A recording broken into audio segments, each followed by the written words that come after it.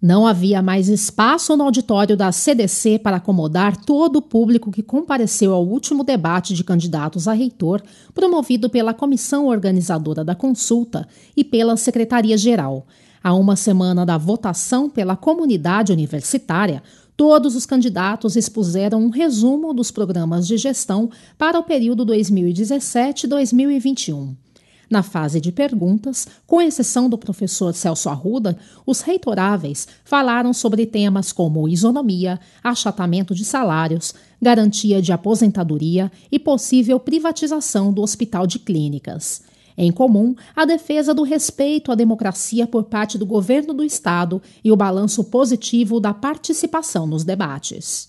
Foi um debate interessante, como todo debate não consegue aprofundar nas questões, porque não é temático, mas eu creio que eu pude mostrar o diferencial da nossa proposta.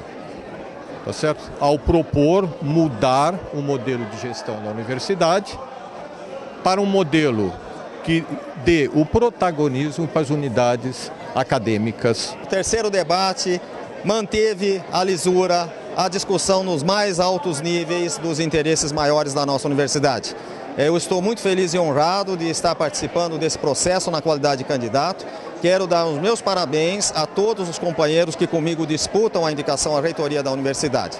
É exatamente com esse comportamento institucional, é, centralizado no que mais a nossa universidade precisa é que teremos condição, qualquer um de nós, de dar continuidade à grandeza que conseguimos construir durante todo esse tempo. A Unicamp cresce, ela cresce a cada debate, a cada discussão, a cada momento que a gente tem aí para é, discutir o futuro é importante para a universidade. E o debate foi em alto nível, foi muito bom, estou muito feliz. Vejam criticamente o que cada um tem a oferecer e que participem da da consulta da comunidade dia 15 e 16. Está todo mundo muito mais do que convidado. Plateia bastante efervescente, o debate foi bastante bom, acho que saímos todos ganhando aqui com, essa, com esse episódio da, da, da escolha. O Conselho Universitário ratifica um resultado que é aquele que vai definir a gestão e os processos daqui, é, daqui para frente, nos, iniciando em abril. Então seria importante que os eleitores todos, professores, funcionários, alunos, se mobilizassem nesse processo. É, ele é altamente democrático no sentido de garantir a possibilidade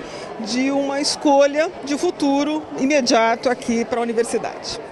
O último debate, promovido pela Associação de Docentes da Unicamp, está agendado para a próxima segunda-feira no auditório da entidade, ao meio-dia.